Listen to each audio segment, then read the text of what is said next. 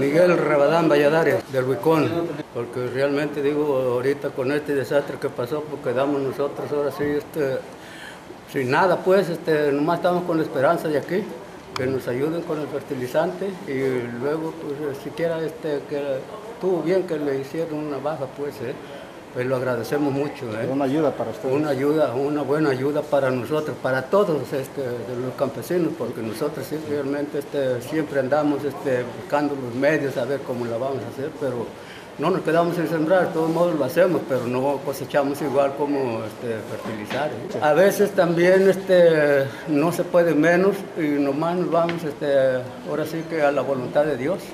¿eh? Lo que nos da, eso es lo que cosechamos. Pero con el fertilizante sí este, nos hemos aliviado un poco. ¿eh? Y mayormente ahorita con esto que nos están, este, como decir, este, ayudando, que nos bajaron el precio. ¿eh? Pues yo son este, dos hectáreas las que voy a sembrar. Cinco de sulfato y uno de granulado que nos están dando. Digo, y, eh, ya ese granulado sí este, también este, nos va este, a aliviar un poco la planta. ¿eh?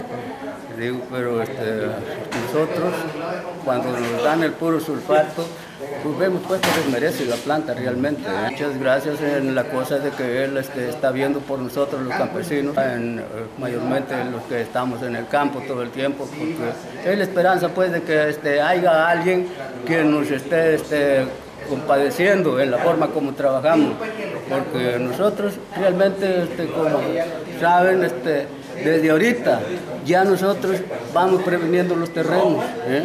dándole espalda al sol para trabajar y cosechar algo. ¿eh? Y, eh, así es que vamos con una esperanza. Si hay una ayuda, qué bueno que nos ayuden y qué bueno que este, haya personas así que sí se compadezcan de nosotros. ¿eh? Presidente municipal, pues digo, eso es lo que decir, presidente municipal porque él es el que está este, ahora sí este, viendo todo lo que ha, este, mayormente ahorita que pasó este desastre. Y sí, este, realmente digo, se nos presentó un hombre realmente muy amable, muy estimado con nosotros y nosotros con él. ¿eh? Que de allí se trajo una palabra que dijo mi hija, pelacua. Allí nos hizo reír a todos, ¿eh?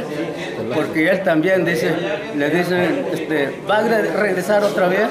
¿Cómo de que no voy a regresar? Dice, pues si yo me llevo una palabra aquí de eso de pelacua, yo no la había oído, dice, voy a regresar otra vez. Ajá. Pues ahorita este, nos estamos ahorrando este, 200 por hectárea, en 4.50 por hectárea.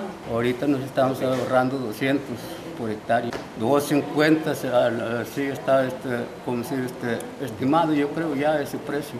Sí, no, pues nosotros este, realmente nos sentimos muy halagados, y mayormente con el presidente que sí este, puso mucha atención con nosotros en el campo. ¿eh? Y lo sigue poniendo y esperamos que este, nos siga atendiendo así en esa forma y que se siga compadeciendo nosotros los campesinos, porque nosotros los campesinos somos los que movemos, como decir, en el campo, todo, todo lo que cosechamos no es para nosotros personalmente, entonces ¿qué cosa hacemos? Pues lo vamos a llevar a ver qué nos lo compra para comprarnos otras cosas y allí ya se está aliviando hasta la gente del pueblo también de las ciudades. ¿eh? Sí, sí, yo le agradezco mucho al presidente y